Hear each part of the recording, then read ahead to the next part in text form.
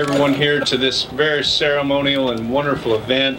A long time in coming, over 50 years uh, that we've been waiting for this day. I want to thank all those that are here, members of the community, thank the students that are here, and hopefully this will benefit all of you, as I know it will uh, in the future. But thank you to our community for coming out in April and supporting this endeavor, not only this stadium, but the improvements, millions of dollars in improvements throughout our district, inside our buildings, and preserving the very tradition of excellence that we have in Raytown. It's my pleasure to be here as your superintendent of schools. Uh, when we started, I can remember back, I think it was my second year here, we decided that Chitwood Stadium, uh, we played two games, uh, sometimes you know every other week on that field, and after the first rainy night, that field was done for the year. And many of the people that are sitting here as the Board of Education decided, well, that's not good enough for our kids.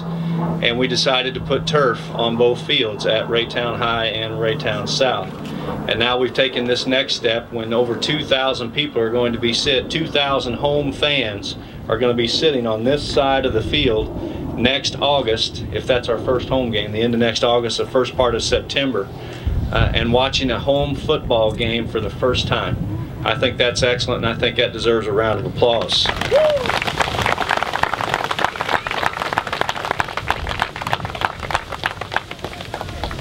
Last time I had cheerleaders cheerleading for me is over 25 years ago. they weren't cheering for me. Thank you, ladies. Thank you. It's an honor to be here with the school board, and it's my pleasure to introduce uh, the board president, one of the, the people behind this endeavor, along with the other fellow board members, and that's Dr. Christy Collins DeLarber, and she'd like to bring greetings on behalf of the board.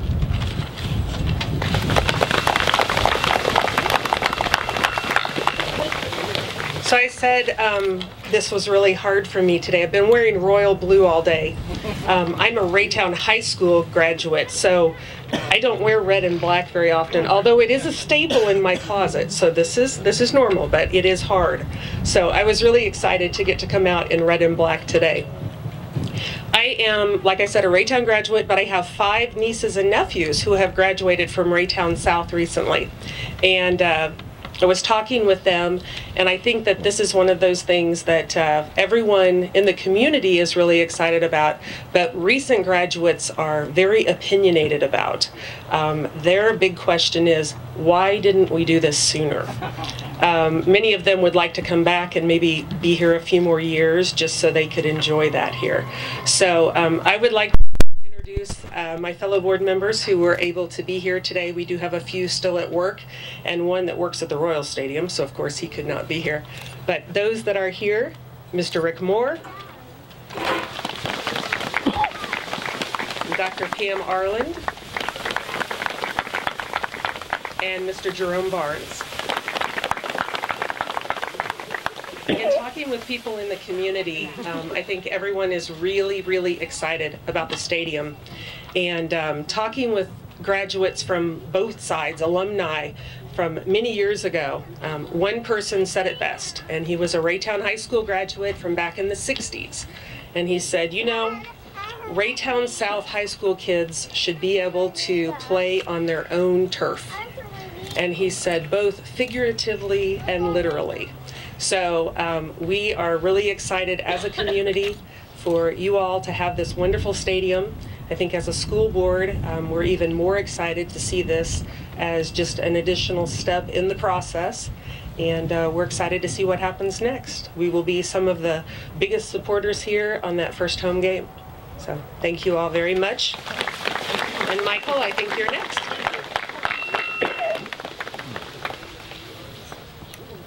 Good afternoon. I'm Michael Couts with ACI Boland Architects. I'm a principal with the firm.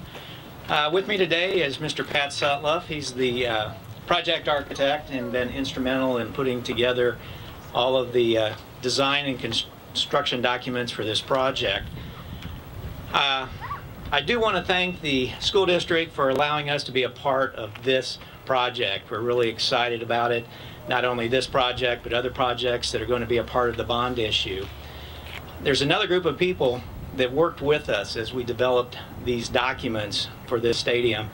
And it was a group of people not only from the school district, but also the community.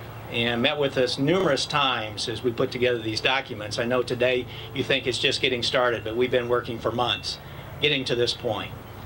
Uh, as Dr. Markley said, there's going to be a new grandstands on this side of the stadium, which will hold about 2,000 people, new press box. In addition to that, as you can see, all the bleachers that were here have been removed. They're coming back, but they're going to the other side of the stadium. In addition to that, there's a new concession stand and restroom facility. I will tell you there should be plenty of restrooms in that uh, new facility over there. With that, what we're looking forward to is next August as this project's completed and we have the dedication and everybody is here and in the stands and utilizing it. Thank you.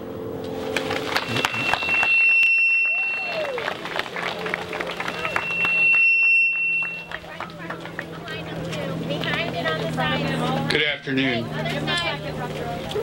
Thank you, Dr. Huff and Ms. Alley, for giving me the opportunity to uh, speak this afternoon.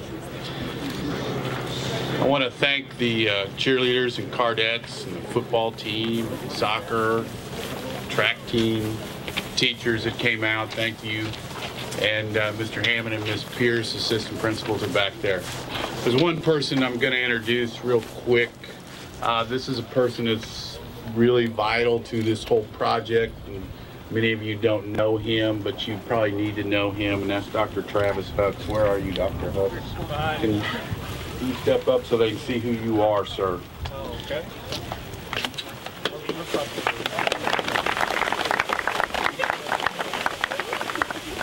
I want to thank uh, the Board of Education and uh, the community of Raytown, their district administration for placing this stadium initiative on the bond issue last spring. I'm really happy for our students and our families at South High. They're going to have a place to call home. I'm anticipating many, many events behind me to take place. This is a very big day in the history of our school.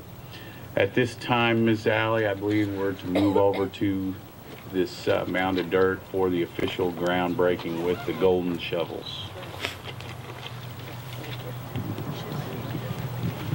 So athletes and students, if you'll move sort of back and give the folks that are digging, and um, Dr. Markley, Dr. Hucks, all board members, Michael and Pat, you're the first shot.